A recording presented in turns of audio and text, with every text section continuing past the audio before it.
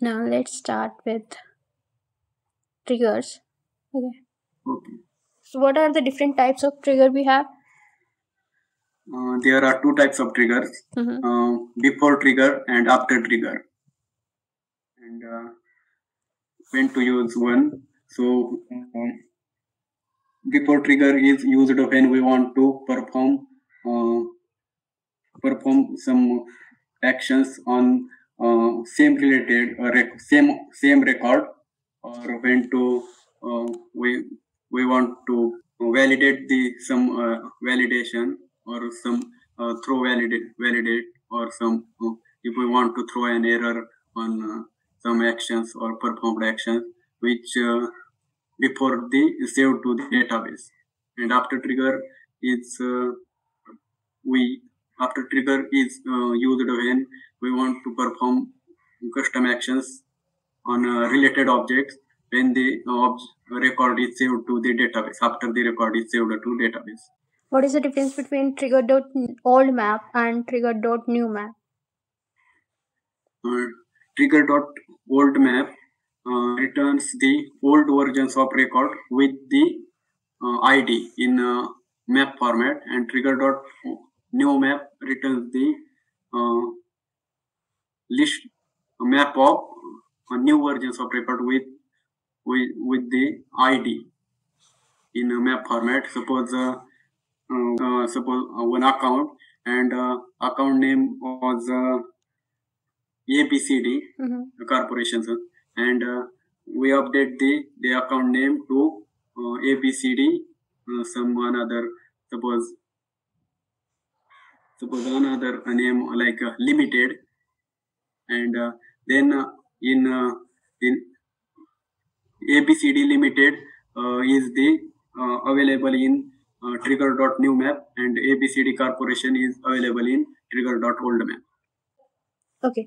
So in uh, before trigger, we do not have before undelete, but in after triggers we have uh, after undelete. So what is Yes, the reason behind this? So we know, ma'am, uh, before uh, we use the trigger before trigger uh, because uh, in before trigger we can't uh, do the DML operations, and in after trigger we we can uh, DML operations because the in before trigger we do the operations before the record is saved to the database. So there is no creation of ID, and after trigger we we do the DML operations because there we perform the custom custom perform the custom actions after the record is saved to the database and after the so when uh, data record is saved to the database we it generate the id and uh, so in before delete if we delete uh, the record uh, before delete uh, it has some id so id will not change uh, id will be unique. So if we we have before delete and we um, we before undelete then uh, there should be there should, there is already id but uh, uh, so we can't give the id uh, new id so there uh, is uh, no be- before undelete operation event. So in uh, after trigger, have you ever faced the exception like read only? yes ma'am Okay, why do we get this type of exception? because uh, when we perform the actions uh, when we perform actions in uh, after after trigger the record is saved to the database and uh, we can't uh, the update the record so it will give it uh, gives the read only error when we want when we want to update the record Okay, how we can resolve this? We can resolve this uh, by create uh, by creating the instance of uh, particular of that object and uh, we need to provide the uh, id of that record and then we can provide the value Okay. which we want to update What are the best practices to write a trigger? Uh, there are some best practices to write the trigger. So first one is uh, we always we need to create one trigger for one object, Mm-hmm. then uh, we need to uh, always use a trigger handler class for write logic. Don't uh, write uh, logic, business logic in a trigger, and uh, use the SOQL queries and DML operations outside the loop. Don't avoid to write write the SOQL queries inside loop. Uh, also, uh, don't write the hard coding IDs. Then uh, uh, use the uh, comments for make uh, your trigger uh, readable. That's are the some best practices. Okay, so the first point you uh, tell me like uh, we should always create one trigger per object. Okay, so Yes. why this comes under best practice or what is the reason to always create one trigger for one object? Um, to maintain the order of execution, Mm-hmm. The Salesforce al- always uh, always recommend us to uh, use one trigger for uh, one object. Because suppose uh, we created uh, two, two triggers for one object for account and uh, and uh, before before insert suppose. And in before insert we give the uh, we write logic says if this some uh, amount field is null then uh, show error and uh, in uh, other other trigger if we put the validation as if the amount is less than 100 then uh, show the error. And uh, in this condition if the first trigger which is if the amount is blank then show error. And uh, if first trigger is triggered and then second is triggered then we we there is no error found because in second we if we give the more than 100 uh, value but in if the second trigger is uh, triggered first and uh, first trigger is uh, then second then there is possibility to give the error Okay. Okay. What are null pointer exceptions? null pointer exception uh, if uh, when we want to update uh, some uh, if we want to update the list then if we uh, but in that in that list uh, there is mm, no any record then uh, there throws the error like uh, null pointer exception Mm-hmm. Okay.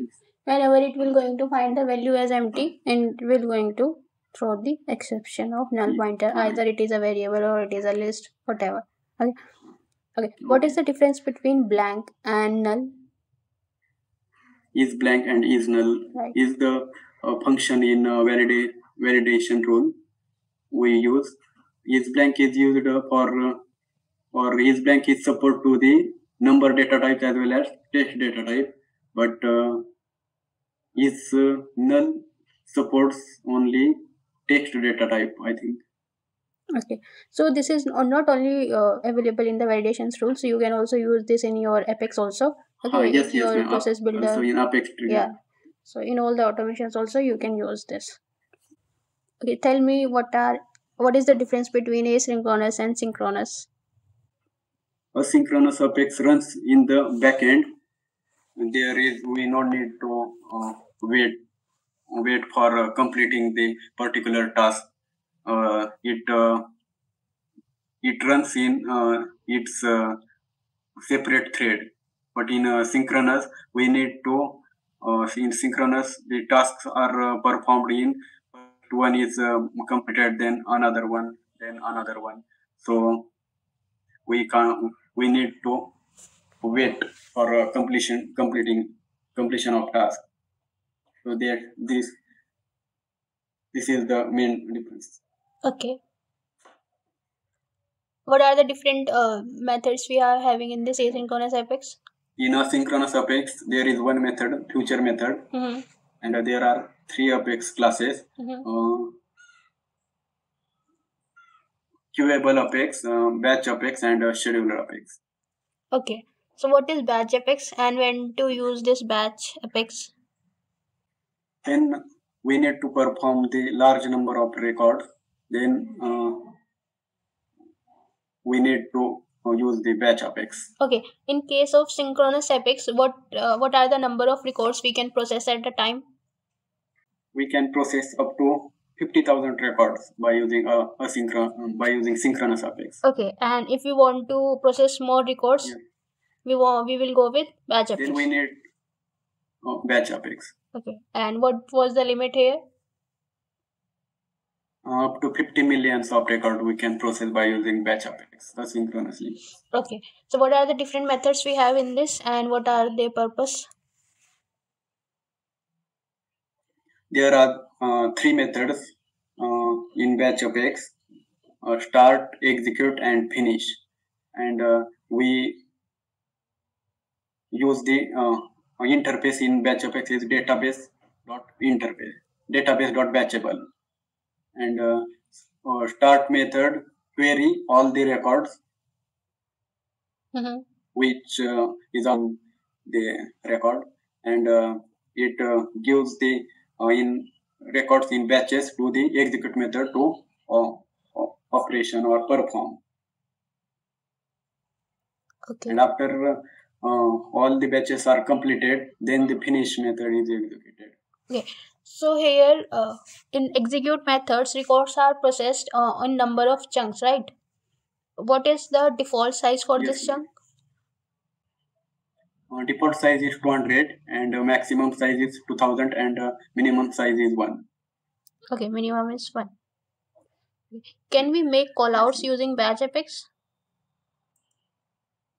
Yes, ma'am. We can call outs using batch apex by using database database dot allow callouts. Okay. So now Yes. can we make the callouts using triggers? Uh, by using triggers uh, directly, we can't uh, make the call out, but uh, to call out call out, uh, we need to uh, put the call out in future method, and then we can call the future method uh, from trigger. Okay, why we cannot make callout directly from triggers?